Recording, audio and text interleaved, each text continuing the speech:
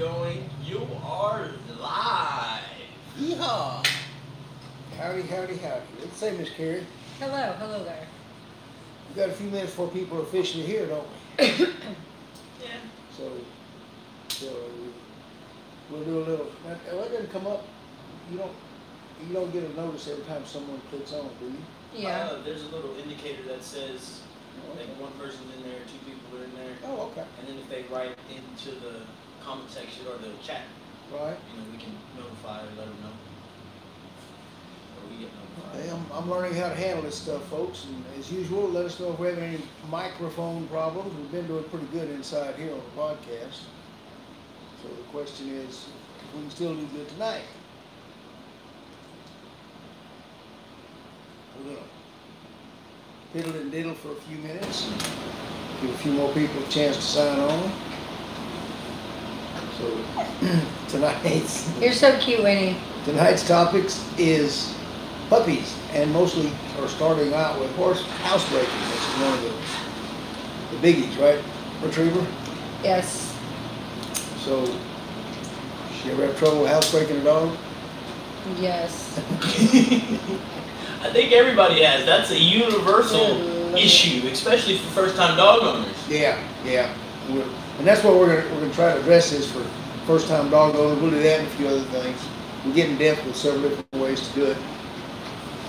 This is an example. This, this is, this is little Winnie. I call her Winnie, yes, sir. She knows her name. Um,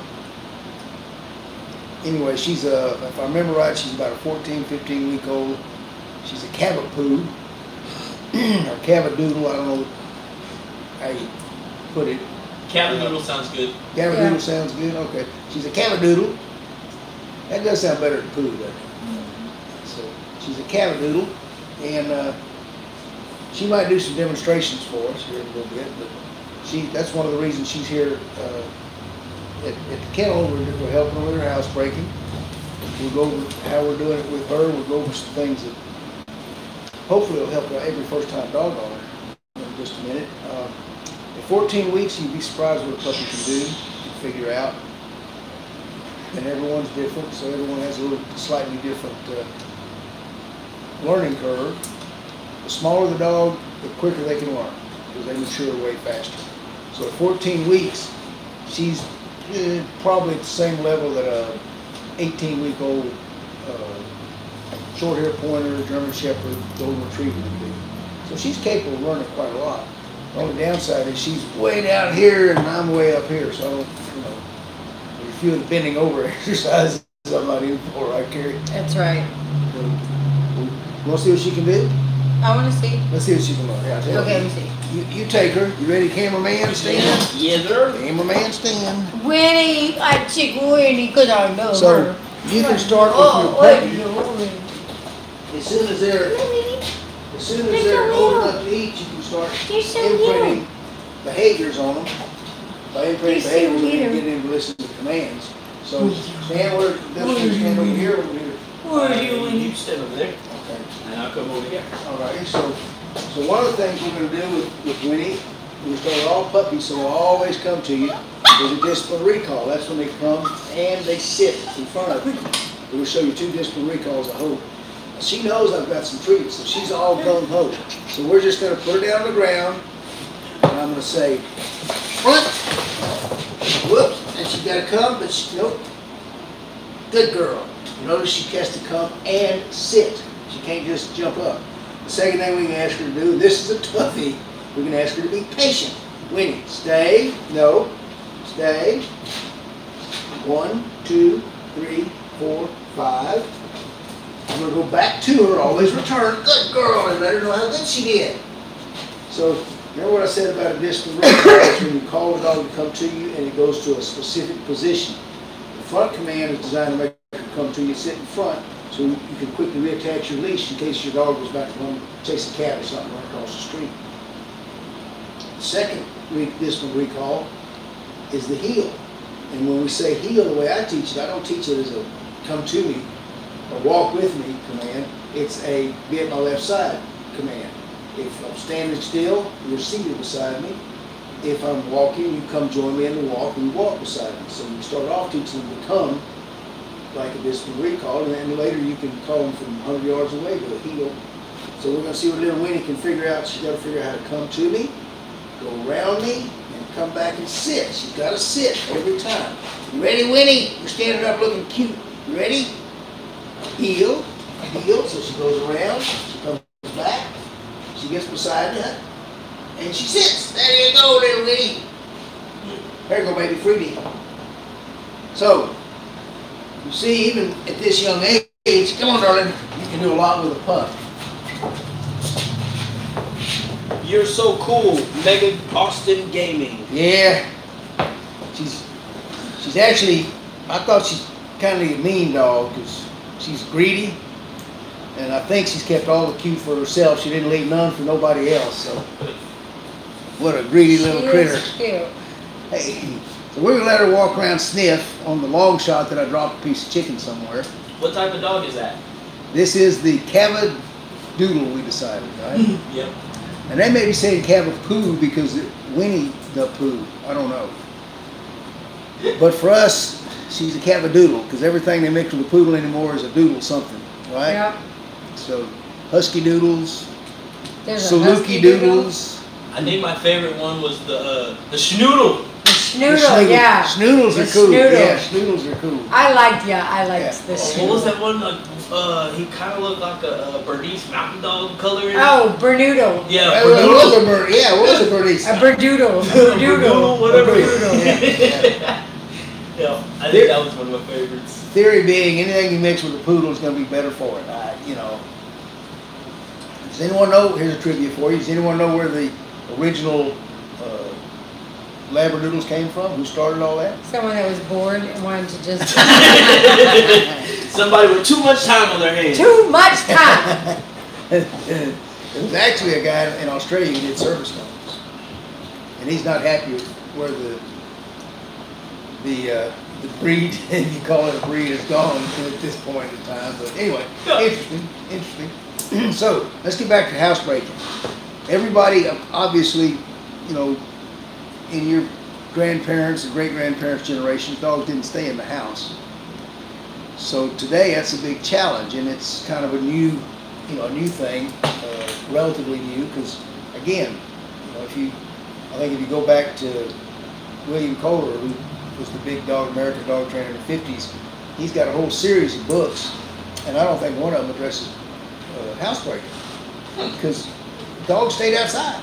They had a dog house, Not my dogs. yeah, but you weren't, you weren't around in the fifties either, Carrie. If I was, they would still sleep Yeah, inside of me. saying- so, so, so the housebreaking came on, you know, with the modern era, and it's been approached like a lot of things from the modern era, which is how much money can a big corporation make off of this thing? and we will tell you how to do it. So we, you know, we got crate training that fiberglass people love because everybody's got to get a crate for their dog. Um, you've got oh, I don't know, you've got the wee wee pads, you got, but there's always something, you know, you can always trace a new training method to some product, it some like. Where did he come in? So we're gonna go back to some basics because there's nothing more basic and nothing more simple than housebreaking.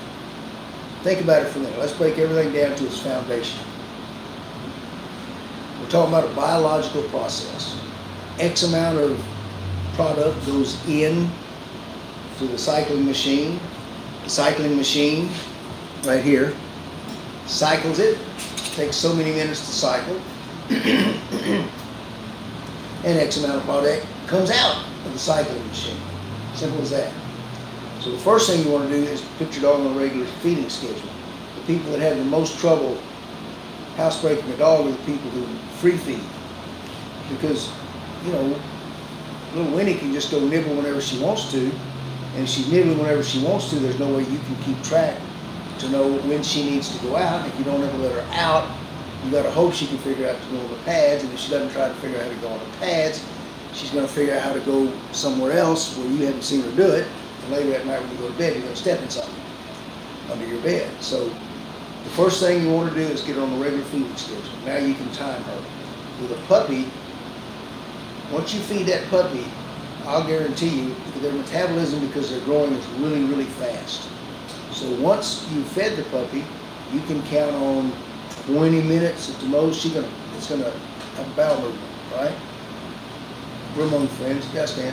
Can can you defi- define what free feeding is uh, more specifically?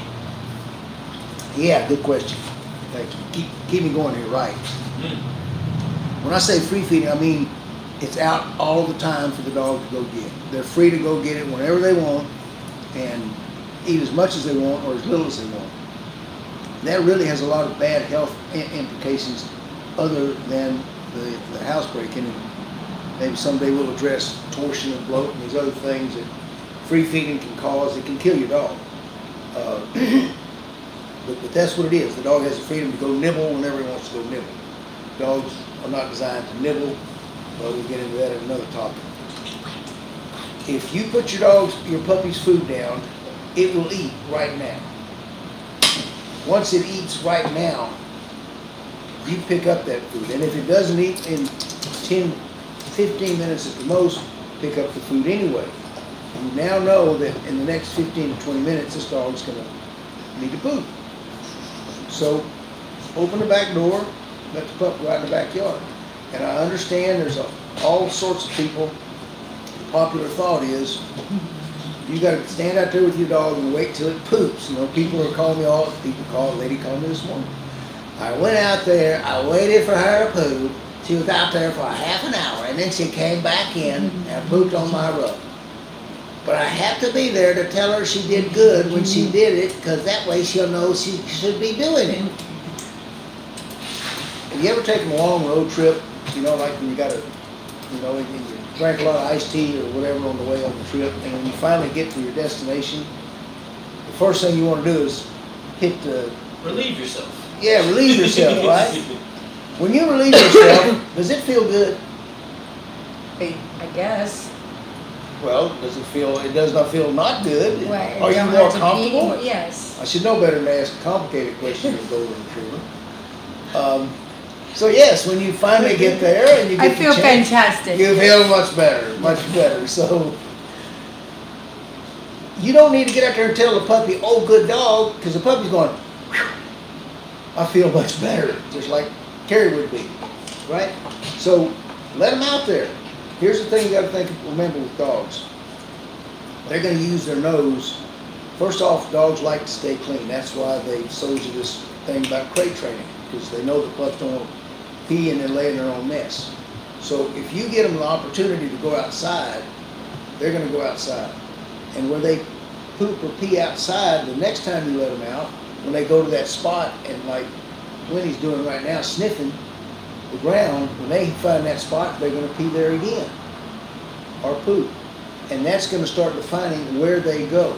So what happens when you have had accidents in the house? Because you're gonna have accidents, because you're not timing this. You're just throwing the food out there and then going about your daily going about, or putting them in a crate. And most of the people come to me with one and two-year-old dogs say they crate train the dog for housebreaking. So all the dog ever learned was, you know, I don't want to on myself. It never learned peeing in the house is a bad thing. It just learned, I don't want to pee on myself in the crate. You didn't let me out quick enough, so it's simple as that. So they're gonna go back to odor, you can always remember that. Get them outside after that meal, you're gonna probably quick, uh, solve most of your problems. But what happens when they drink a bunch of water and you're not aware of it, and all of a sudden they go and they pee in the, in the room? Or they poop. Please don't stick your dog's nose in it, but you do have to discipline them. You have to let them know that otherwise they're gonna keep going there. They've gotta learn the rules of the pack, and that's one of the rules. My living room rug is not a toilet, right? So we're gonna mark that bad behavior with a, with a correction. How are you gonna correct them, Carrie? I'm gonna beat them. Um, I, sc- I personally use scruffing, um, because it works for my dog. How's it It works for one of my dogs. So how do you scruff? I just grab the loose skin on the back of their neck, and I just, I personally, I pick him up till he's where he's looking at me. I pick him up off his front feet because I want him to feel it. When he's crying, I tell him no. I tell him no with it, but I've only had to scruff my dog, I think twice, two good times, and now when I tell him no, he automatically stops what he's doing. Because what? When he hears the word no, He don't want to get scruffed. there you go. He remembers pain. I made it. I made it hurt. I didn't. I didn't have to do it very hard. They're Right. they're very. Right. He's sensitive. He's a baby. And so she's dead on. Now the scientists will tell you doesn't really good to punish a dog because they can't remember that they made that mess, right? You got to catch them in the act. Most popular scientific myth on the planet. Gotta I love that one. Huh? I love it when people say that. Yeah, yeah. I just laugh. So here's the thing. That amazing discovery about animal brains was made by scientists. These scientists, now let's let me give these scientists their credit, folks. First off, they went to college and got a degree. One for the scientists. Second off, their job is every day they go into work and they let whatever animal they're studying out of the cages and they stick them in places doing things they've never done and they write down the results, right? Then they go to lunch and they come back and they let out some more animals and they study them doing this and they study them doing that. And then at the end of the day, they go home and they feed their goldfish.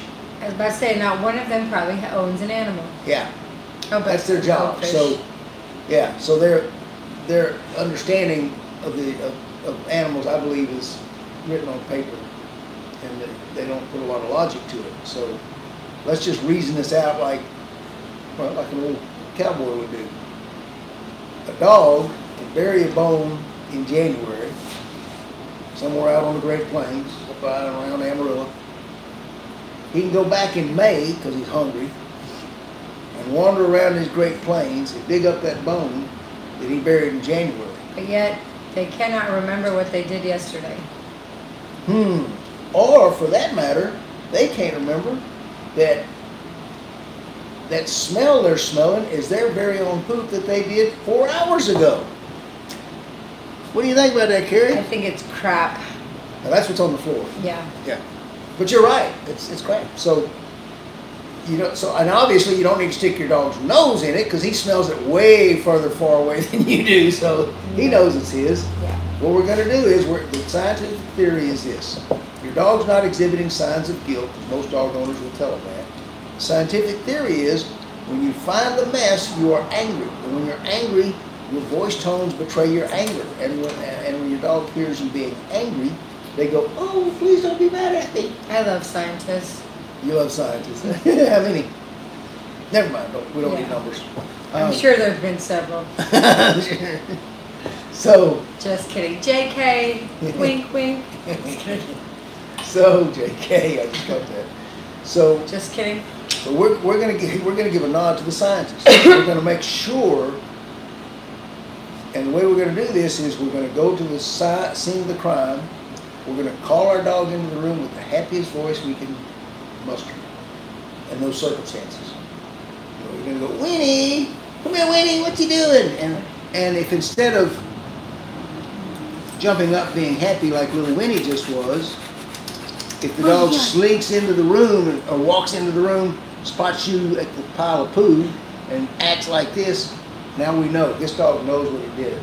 Once the dog, once you're convinced that the dog understands what they did wrong, it's fair to, to correct them. It's fair to beat them.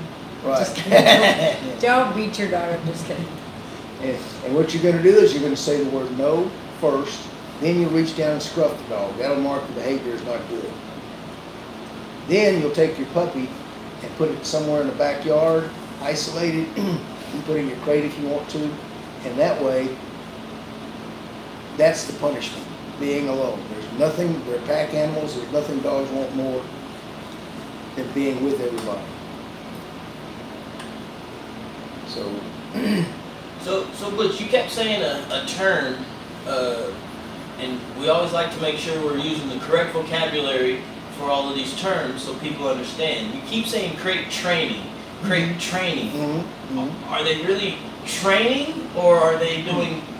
Like, Excellent question, Mr. Smith. crate training is like a lot of terms in the animal world. Woody, you're so cute. You go, Weedy? Get up here, baby. Come here. Come here. You want to come up here with me? These are terms coined by, in this case, somebody who wants something to sell. It's like the term horse breaking, wherein you are supposedly teaching a colt to be ridden. You're not breaking the horse, are you, staying? I, I hope not. They cost a lot of money. Yeah, they're expensive. And by the same token, when they say crate training, you are not training a crate, are you? I hope not. That'd be That'd be a little weird. And get you on TV, probably. right. Or in the crazy oh. house Yeah, the crazy, yeah, so, the crazy house. I told my crate to stay. in a straight jacket. So, They have a, pr- a pretty white jacket for you. yeah, there you go.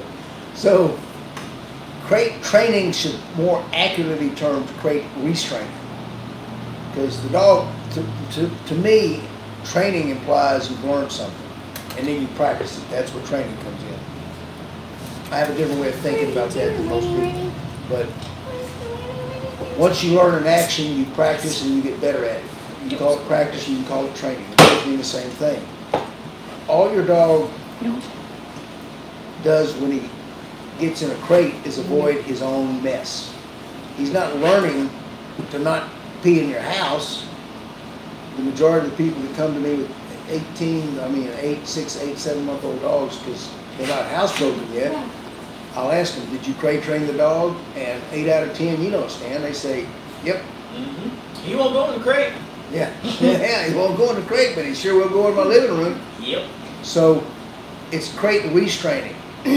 it's handy for people who, you know, they're going to go to work and they don't they don't trust their dog because they haven't trained it.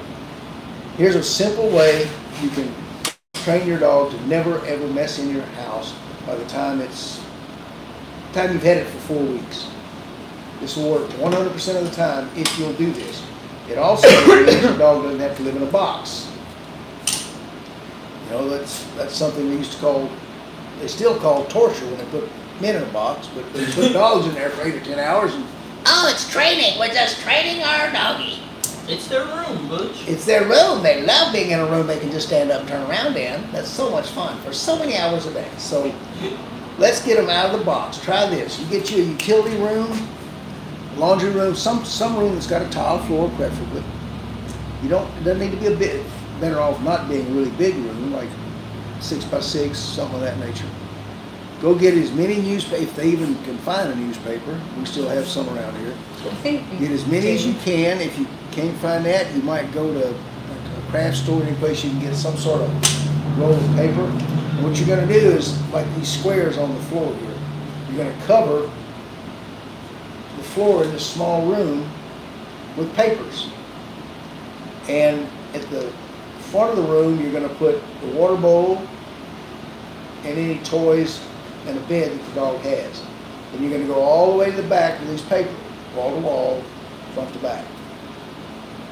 Put your dog and some toys, put some toys in there, go to work, come back eight hours later, ten hours later, however many hours a day you work, go back to that room, you're gonna find wherever the dog peed and pooped, and it's gonna be right there in the paper, you pick it up real easy, throw it away. Put two layers, three layers thick if you want to. You're gonna do that for one week. The second week, take up the row at the front of the house, of the room, where the food and the water is. Go to work, come back, clean it up. Every three to five days, pick up another row until you're down to one row. I guarantee you, your dog will keep going back to the newspaper until you have one square of newspaper back in the back corner, and that's the only place that dog will go. You can then take some newspaper, stick it in your backyard, and when you get home, let the dog out in the backyard, and there's going to be, because remember, they go to odor. That's what tells them where to go to the bathroom. So this three or four weeks peeing on these pads, you can use puppy pads as well. I'm sorry I forgot that. You can use puppy pads as well as newspaper. Maybe even easier. What's a what's a good tip instead of using the expensive puppy pads? Ah, yes, yes, you can you can go. Thank you, Stan. you're on your you're on your toes tonight, you can go and you can get to go to your favorite pet store, and you can get a box of 24 pads for $39.99. I'm just throwing out a price, but I'm not far off, I'll bet you. Or you can go to Walgreens, Walmart's, any drugstore in town. You can get people pads that are even bigger, and you can get a hundred count for $39.99. and they're going to tell you the puppy pads have this scent, and that's attracts them. The scent is paper. Don't worry about it. It's so cover your deal and uh, pick up pad one at a time. Correct the dog. Correct the dog when they pee in the house or poop in the house. Take them outside immediately. And pretty soon they're going to decide, hey, it's a lot. I'm not going to break the rules because dogs won't follow rules. They're a pack animal. The pack would have never survived if they were fighting amongst themselves or disobeying the rules. So dogs innately, when they're born, want to please man. Take advantage of that. Just make it clear what your problem is, and that'll be fine. One other little trick you can use, especially if you have an older dog, and I'm sure a ton of you out there have already heard about this, but please tell your friends. It's your little, little copper bell, any kind of bell, any kind of noise maker. Someone showed me, some pet manufacturer now has an automated doorbell that the dog can step on, but you put it by the back door. But you can hang just a little old two dollar bell on a string at your, off your back door knob or your front door, wherever you want them to go. Hang it down just low enough that the dog can hit it with his nose or his head. Every time you let your dog out, reach up and ring the bell. Or take your foot, kick the bell. He goes out, kick the bell. He goes out, kick the bell. At some point, if he has been corrected for peeing in your house and he wants to go outside, it's going to be just like you on that long trip waiting for your, your, your brother to get out of the bathroom so you can get in and use it, right? Because it's just a one holer. You know, you sit there and you kind of do this. Well, that's what your puppy's going to be doing, and he's going to look over, going, "Oh, that bell! Bang, bang, bang!" with his nose. You're going to hear the bell ringing because most of the people that tell me their dogs are still having accidents in the house also tell me when I ask where is the accident at. Well, it's right by the back door, just a foot or two from the back door. To which I reply, if you were listening to your dog, he would have gone outside because that's why it's at the back door. So, So we Kids got are smart. yeah, aren't we though? They- Troy from Second Wind 75 is here. He Hey, said, Troy, good to see you, man. Um, and D DNL Salting had a question. Um, it said, "What if the dog doesn't display guilt? Then what do you do?" hey, Dee, that's a that's really a good question. Thank you. If the dog doesn't display guilt when you're doing that, because you called it with a happy tone of voice, well, that means the dog has not figured out yet that he's not supposed to be using your house for for a, a bathroom. So all you've got to do again, let him know the rules of the pack. You're going to say in a stern voice. You're going to first look him in the eye. When a mama dog corrects a pup, when a pack leader corrects anybody in the pack, they always start with eye contact. So look at your pup. When he looks up at you, let your voice tone reflect that you're not happy. Make a point, and I'm sorry I'm laughing. Winnie's giving me looks here. Make point at your dog, and you're going to say with a stern voice, say their name first. Winnie, no. Let let see. Now she's going. What? Did I do something wrong? Did I do something wrong? Come here, Winnie. I'll forgive you. So you're going to do that, and when you see when you say the word no properly, you'll get a physical reaction from the dog. They'll duck their head, they'll turn away, break eye contact. There's going to be something that tells you they understood that you are not happy with that situation. Mm-hmm. The next time you call them in, I guarantee you, they will now know. Oh, oops, I shouldn't have done that. Sometimes just telling them no the first time will correct the sensitive, more sensitive dogs like Australian shepherds. you laughing at her? She's cheering on your chair. Yeah. You were good though. J- Jamil said, "Hey, what's up, guys?" Is that Bill. Jamil? Hey Jamil, how's the baby? And then Alley Cat had a unique question that said, "Do you find a purebred will not potty in the house versus a mixed pup?" So do you think the purebreds are more likely to, I guess, not pee in the house versus a mixed breed? Because they're I'll tell you something because they're here, folks. purebreds. Let me let me just rock everybody's world. Do it, Butch. Do it. When I think I know where this one's going. when when when I when dealing with all the rescue dogs, and for a while I had a lot of feral dogs. When when we get feral dogs in the kennel, they won't even pee in the kennel. You have to let them out for grass or dirt, because that's where they first peed and pooped, and that's that they are. Anyone would adopt one and say, well, they're just they were just automatically housebroken, automatically. Now, those are feral dogs. What's that tell you? If you're if you're if you raise a young pup, peeing in one place in one or one one scent or odor, that's where they're going to go. And whether it's purebred or mutt makes zero difference. Zero.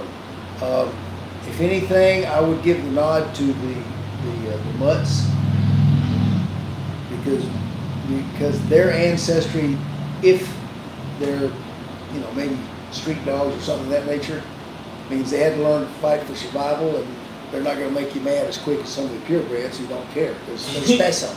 Especially the show dogs. Especially the show Yeah. dogs, they're very special. And you don't yell at them for peeing or pooping. No, you don't. You just, you just say, okay, They as get long their feelings hurt. yes, they'll hurt their feelings and then they won't stand pretty in the show ring. So, not meaning, not not not making fun of show dogs or anything like that. Just laughing at them.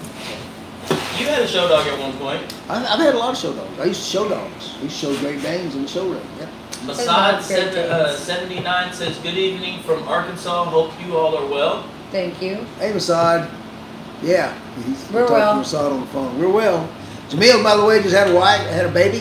Had a wife? Wife- Had a wife, you had a wife? His wife had a baby, so congratulations on the baby, Jamil. Hope hope hope uh, your wife's getting to listen to this and enjoying it, seeing a little bit of what what you got to put We up got you with. some cool stuff. Jamil, for those of you who don't know, he's our decoy. He's our number two uh, training decoy, agitator. Does a great job, great work. He's also our our technical cameraman and, and uh, sound sound technician for So I hope it's going good tonight because we have Stan running it. Woohoo, Good, a little scary. So, uh, this is just a me question. How early can you train a dog to be housebroken? Hmm. Well, Well, Spudge, how early? how early? How early do they start pooping? Um, like what? When they're Five, born? six days? Get after it. Oh, no, no, no, no, no. No. All right, so here's how it works. Mama cleans them completely for the for, until they're weaned. As long as they're nursing, she's going to clean them up. She'll lick them and lick it all up, right? As soon as they get on solid food, All hell broke loose. huh? All hell broke loose. Oh, yeah, Ca- Carrie did, did some of this. what happened when they got on solid food, Carrie? Oh, Jeez. There's poop everywhere. I'm just kidding. Yeah, there's when, when they get on the solid food, Mama goes to lick it up, and then there's this odor that has suddenly developed, and Mama go, "Whoa, whoa, not in my mouth! I ain't, none of that. I ain't doing none of that," you know. Mhm. So you can actually start if you will take a puppy. It's but it's so hard because they. If you'll take a puppy at, let's say you wean him at four to six weeks. If you will feed that little fella three times a day until he's ten weeks old, feed him, put him. Oh, I've got some on the water, peeing in the house too. You want to go see her? Feed No. that, feed that What are you doing? Six-week-old Chipsa? What are you puppy. Put him outside for 30 minutes where he's peeing outside. He'll grow up just like a feral dog where he thinks the only place he can poop is in the grass. Now let's address peeing for one time. If you if you got it, same thing applies as far as correcting them when they pee. But a lot of people have asked me, you know, what happens at night because he's in all night. He's got to pee. So here's the rule of thumb: two hours before bedtime, get you an ice cube, put it in his bowl. If he licks up the ice cube, that's all he needs. Pick up all your water. Two hours of bedtime, put him out in the yard for a half hour before he goes to bed, or at least 15 minutes. If you've given him that ice cube, or excuse me, give him the ice cube when he comes back in, if he put the ice cube down in case he's thirsty, he'll get moisture from the ice, from the melting water, but his tongue will also get kind of numb, and you'll feel like he's had a drink, and he does not fill his bladder, so there's nothing to worry about sleeping through the night. So, thir- two hours before bedtime, pick up the water, when you put him out fifteen to thirty minutes before bedtime, bring him in with just an ice cube, go to sleep, and not worry about that. Any more questions, any more thoughts? And that was gonna be, that was my next question. Stop. I, I just wanted to say that I potty trained my Western Shepherd in like three, four days. Right. Yeah. Well, But that might be because he's a Western Shepherd. Well, that's because but the way Butch raises the puppies, when once they get weaned, he puts all the pads I did down everything, and but I- the. Yes, and I did everything Butch told me to do when I took him home. Everything. So I mean, One, I mean, one I of, really one of the rare times I might add, folks. Mm. Well, I wanted. I yes, but I, Okay, because about I obedience, but I didn't want to poop it in the house. no, I do everything you tell me when it comes to my dog's obedience. The kennel help, I run it the way I want. to. Yes, right. This is the kennel boss, by the way, folks. I, uh, but when it comes to my dog, you know what you're talking about, and my, my dog is he's so spoiled, but he's He's what? he's good. I mean, his obedience. I mean, he's great. He's He's great. yeah, he's spoiled to death, but I mean, He's just great. he no, he's freaking amazing. So, Butch, this is one that you like to, to talk about when people come out here. Uh-huh. If you want the dog to go in a specific area, Ah, okay. Yeah, keeping it easy, easy clean up in your backyard. What are you? Remember what I said about if you paper trained them in that room, like I explained, all you gotta do is go out and put that newspaper down. Or when they're starting out, if, if you haven't paper trained them, you just go out there to wherever they poop. They'll start going to, automatically going to one spot. They're gonna be attracted to go back to that, where that smell is. If you will pick that up at least every other day, you're gonna leave the odor, but you're not gonna leave the solids. The reason dogs go to different places to poop is because it gets too messy. Remember, they like to avoid their own waste. They don't like to be in their own waste. So when they got a pile here, pile here, pile there, they're, they're gonna always go back to that same general area, but that general area is gonna start spreading and spreading and spreading. If you'll just go out every other day at least, you should go out daily. If you go out there daily, it'll take you forty-three seconds, right, Carrie? Well, I have a couple dogs, so it takes me a little bit longer than 43 seconds. But I go about every other day, and yeah, if I pick it up, it's all in the same spot. It's all in the same area.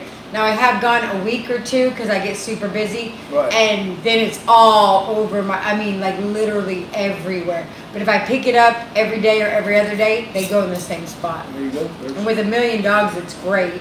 yeah. There's a live testimony right there. I wasn't counting on that, but I forgot to tell Carrie. Yeah, Carrie listens to me when I'm talking about dogs. That's about it, but at least she listens to me then, right? that's right. Alley Cat says she does it daily. That's the key. She Yeah. does what? It daily. Picks Daily. up poop. Yeah, Yep. Thank you, Alley Cat. Appreciate that testimony. yeah. I mean, it, no, it works. Daisy K said very good information. Good. Are you chewing on my boot? That's what we're trying to do for everybody. We appreciate that. Appreciate appreciate you letting us know it helps. Like Mr. Arms used to say, educate, educate, educate. There you go, Mr. Paul Hines. Those pretty good And it's dogs. just little things that make a huge difference. Stop chewing on my boot. Like she's Well, gonna make it damage. If anybody has any suggestions for the next podcast, uh, leave them in the comment section. We'll look at them over the the week, and if nobody comes up with any ideas, we will Think come up something. with something. Yeah, there you go. And we appreciate you folks, especially as long as it, as long as it's helping. We're going to keep doing this. So Stop. let us know if we're helping. Let us know if the information's good, and then just remember one thing, right, Stan? If, you ain't having fun, you ain't training, Training dog. dogs. There if you your go. dog ain't having fun, well, you're just doing it wrong. So try something else. yeah, just stop. Just stop. just leave it alone. Leave it to the professionals. Oh, never, right. never a dull moment around here. Yes, yes. Never, never. Uh, thanks, guys, for hanging out with us tonight. Appreciate you guys a lot. Thanks. See you guys soon. Bye. Can you train your dog not